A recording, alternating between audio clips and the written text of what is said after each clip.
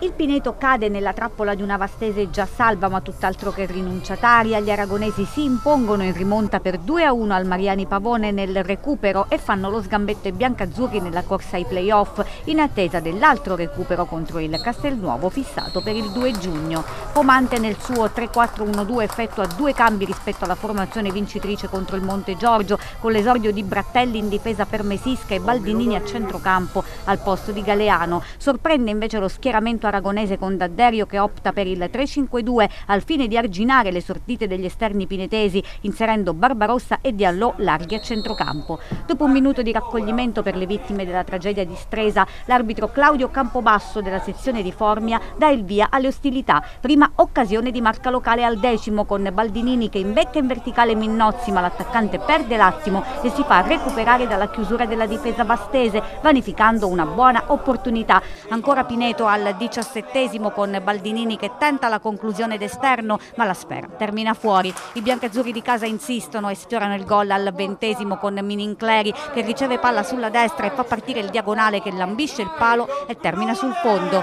La partita si accende nel finale di frazione. Al 39esimo Minincleri fa partire il traversone sul secondo palo, il colpo di testa di Della Quercia che viene respinto, la sfera carambola sui piedi di Minnozzi che dal limite non perdona e porta in vantaggio i suoi. Ma la risposta ospite è immediata con la Vastese che rientra subito in partita al 41esimo sugli sviluppi del corner di Obodo è impeccabile il colpo di testa a incrociare sul secondo palo di Monza che insacca all'argolino e riporta la gara in parità. Il primo tempo finisce sul punteggio di 1 a 1. Si accende subito la gara nella ripresa con la Vastese che in apertura riesce a ribaltare il risultato. Al settimo giocata in verticale di Martiniello per Mamona che sorprende la difesa bianca-azzurra e in velocità salta Mercorelli insaccando indisturbato la sfera in fondo al sacco per il sorpasso della Vastese che ribalta il risultato. 1-2 e ottavo gol in campionato su azione per Mamona. La reazione della squadra di casa al diciassettesimo quando Della Quercia mette in mezzo il traversone ma è perfetto l'anticipo di Barbarossa sugli avanti pinetesi, passa un minuto e ancora Pineto pericoloso, Minnozzi recupera un buon pallone, resiste alla retroguardia biancorossa e libera di tacco romano che però tenta una sorta di pallonetto non riuscendo a trovare il colpo grosso. Insiste la formazione di Pomante nel tentativo di recuperare le sorti del match, al ventesimo punizione di Minincleri sul primo palo ma Di Rienzo si fa trovare pronto e disinnesca, ma l'occasione più ghiotta per i locali è al ventiquattresimo per il neoentrato Mbuba che imbeccato alla perfezione da Minincleri dà solo l'illusione del gol con la sfera che termina fuori di un niente. Il Pineto risente nel finale anche dei tanti impegni ravvicinati e Pomante inserisce ancora forze fresche al 36esimo cambio tattico per il tecnico locale che richiama Pepe e fa entrare Bugaro passando di fatto ad un 4-2-4 e tentando il tutto per tutto ma è la Vastese a rendersi pericolosa al 39esimo con un lampo di Diarra sul quale è bravo Mercorelli in tuffo a disinnescare innescare spedendo in corner nel finale. È una solo Pinetese al 42esimo ripartenza veloce dei biancazzurri con Bugaro che prima pensa al tiro, poi serve Romano che però sbilanciato spreca spedendo abbondantemente largo. Ultima occasione al 44esimo per Galeano dalla distanza ma il rasoterra pericoloso esce fuori di un soffio. Il derby così si tinge di bianco-rosso con la Vastese che si porta a casa l'intera posta in palio, pasto falso del Pineto che frena nella corsa playoff e rimanda le proprie chance alla sfida contro il Castelnuovo, Covid permettendo. Sì, sì, sì, ma la Vastese sapevamo che veniva a fare questa partita. Io penso che oggi, soprattutto nel primo tempo, è stata una delle migliori prestazioni che abbiamo fatto fino, adesso perché nel primo tempo abbiamo creato tante, tante occasioni per fare gol, non siamo stati bravi a sfruttarla. Poi nel, alla prima disattenzione abbiamo preso il pareggio. Da eh, difensore quale sei stato, quanto sei arrabbiato per, per come Pineto ha preso il secondo gol?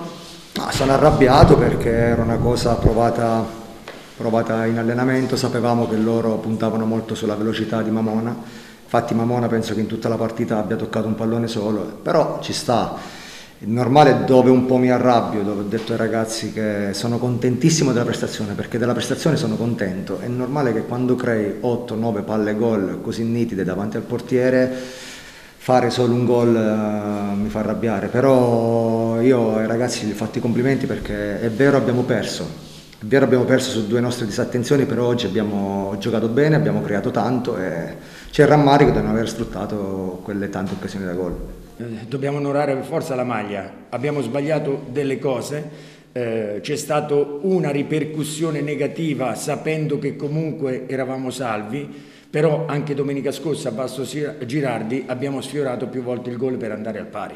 A Monte Giorgio abbiamo perso all'ultimo minuto, io non posso eh, accettare che eh, noi molliamo, ma non lo, non lo, condivido, ma più che altro perché eh, è nel nostro onore. Noi siamo venuti qua a fare la nostra partita per nulla togliere al Pineto, che è un'ottima squadra, perché comunque dovevamo eh, onorare eh, la, nostra, la, nostra, maglia e la nostra posizione.